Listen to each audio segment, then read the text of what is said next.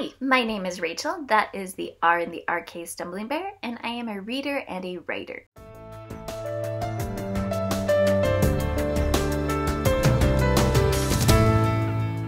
And today I am here with a book review for Remote Control by Nnedi Okorafor, which is part of the new releases of 2021. Just so you're all aware, this is going to contain spoilers. This type of novella, you can't talk about it without talking about what's actually happening.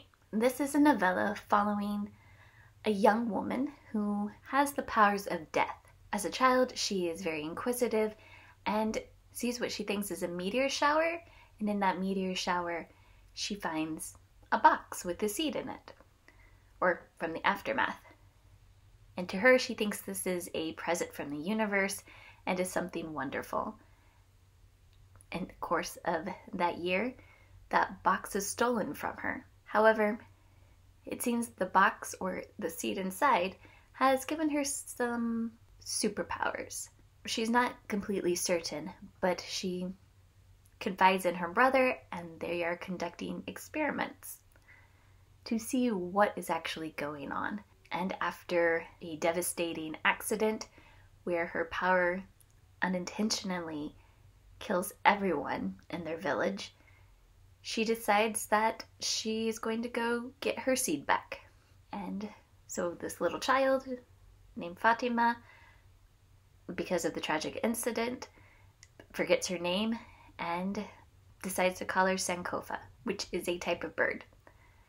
She, on her journey, finds that she is not able to interact with technology at all. And this is a future version of the world. So there's a lot of technology out there. But she's not able to interact with it. So she's walking everywhere, chasing this seed. And as she does so, she's also learning how to control her powers since they seem to be connected to her emotional responses. As she is going about, people become aware of her and what she can do. Some people ask her to release them from their life of if they are like dying of cancer, they will ask her to release them so that they can move on. And then other people want to hurt her and she has to defend herself. Eventually, she comes to the point where she finds the person who stole the seed, finds out he no longer has it. And at this point, she's just fed up.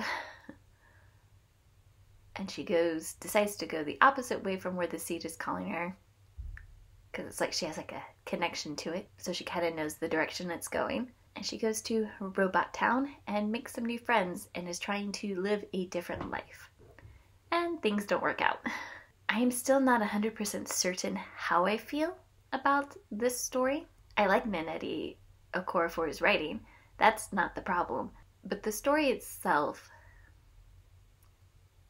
it, I guess it just sits in an odd place for me from the book description, I expected us to spend more time with Sankofa, and we really spend a good deal of time with Fatima before she becomes Sankofa.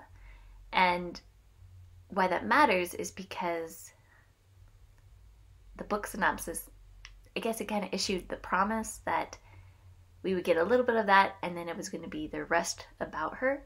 And it's really only a small piece of her adolescence it's definitely covering the themes of men thinking that they get to control women whenever they want, they get to take from women, because several times we have to see Sankofa protect herself, and how people have different perspectives and they don't communicate very well. That people don't like what, if they can't figure it out in their minds, they don't like it. Something that I think was done really well was the character Sankofa, as she has the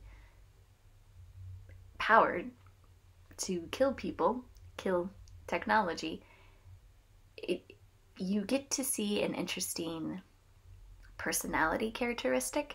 And I think it's something that you also see in children where they're very egotistical, it's about them.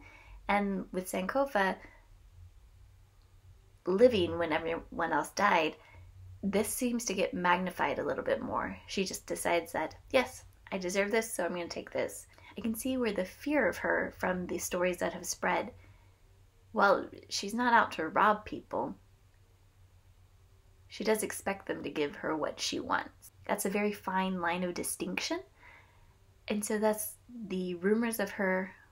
Mm, there are more rumors that talk about how she will take and hurt people versus help somebody who is suffering.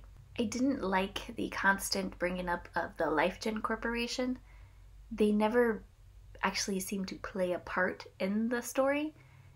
It was more like it, they were mentioned just at, just as a plot device to say, "Hey, look, this is science fiction. This is near future." But in reality, they weren't present in the book really. And I can see maybe if this was set in a universe, like a shared story universe, that LifeGen would be important. But at this time, I don't think it is. And so it's just random. I think dimensions of LifeGen could have been taken out. Also, I'm not a fan of how the story ends. It this is more of an open-ended story. You know what her last actions are in the story, but you don't know what the actual ramifications of those actions are going to end up being. And so, again, it's just a very hard story to categorize. And I'm still not 100% certain if I like it or not. I don't think Sankofa is a particularly a character that you are going to root for or a, a likable character. I don't think she's really a very likable character, but you know that not everything that has happened to her is her fault, and we are, or we do become who we are due to the circumstances around us.